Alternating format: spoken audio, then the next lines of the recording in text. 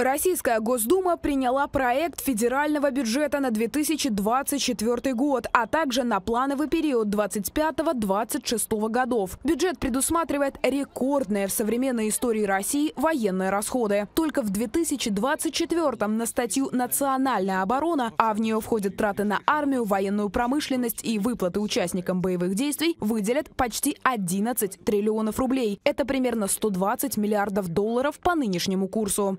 2024 году а, будем говорить, скажем так, э, исходя из реалий, навряд ли это реальная сумма.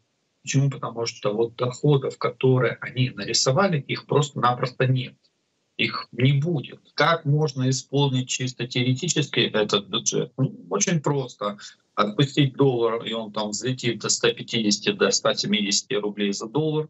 Соответственно, доходы в рублях увеличатся но увеличатся и цены. Ну, второе, это, конечно же, инфляция. Цены в России растут и на продукты питания, и на непродовольственные товары, причем не только те, которые покупают за границей. Пытаясь притормозить инфляцию и стабилизировать рубль, российские власти усилили валютный контроль. Центробанк неоднократно повышал учетную ставку, а государство обязало крупнейших экспортеров сдавать валюту.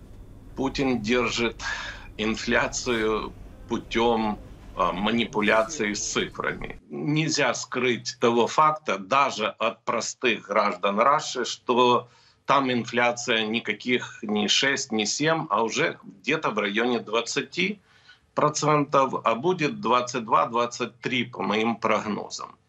То есть э, здесь это сдерживание шля... путем э, обмана, обмана и международной общественности, и своих граждан. В 2024 в России траты на войну впервые превысят социальные. Несмотря на это, в российском Минфине поспешили заверить, что расходы на соцполитику якобы в приоритете. Они увеличатся на 2 триллиона рублей. Но повышение размера минимальных пенсий и зарплат, во-первых, связано с инфляцией, которая только за 2023 съела пятую часть всех начислений, поясняют эксперты. А во-вторых, это вынужденная мера. Путину приходится покупать лояльность электората перед выборами. 2024 год — год выборов. И всегда они закладывали перед выборами а, для получения нужного результата различные социальные выплаты. Поэтому на 2024 год, скорее всего, эти выплаты будут произведены именно а, перед выборами для того, чтобы создать э, такую видимость. Э, потом это все съест инфляция, и там, на протяжении уже после марта 2024 года, фактически они придут к тому же самому состоянию, что и были.